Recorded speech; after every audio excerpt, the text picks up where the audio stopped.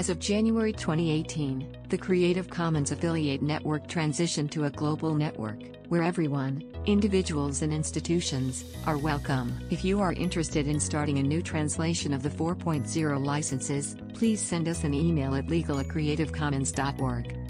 Anyone can initiate a license translation or can be a member of a team translating licenses or other materials. Here is the process to translate the CC licenses. Prepare the draft translation using the worksheets from the CC Wiki. The Attribution Non-Commercial Share-alike license will be translated first. Resolve questions and concerns regarding the draft translation with CC Legal and then initiate and coordinate a public comment period. It's now time to produce the HTML files. You will need your preferred browser and an advanced text editor, we suggest Atom. First, download Atom for your PC or Mac from atom.io and install it locally.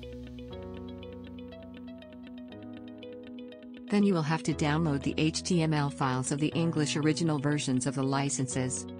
Go to the Attribution Non-Commercial Share-alike page and choose File, Save Page As, or Save As.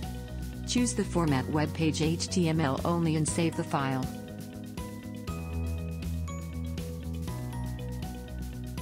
Do the same with the other five license pages. Open the Attribution Non-Commercial Share-alike page in Atom and start translating.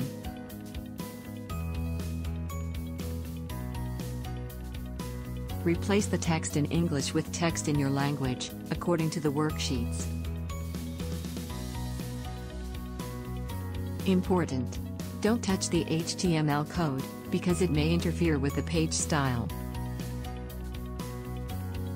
Don't forget to save the document from time to time. The HTML file is now translated. Send it to CCHQ and we'll get it staged on our internal server. We will then discuss with you what needs to be corrected or changed, until we have a perfect version of the translation. Then we can proceed to translating CC0 and other materials. Read more about this process on our wiki pages.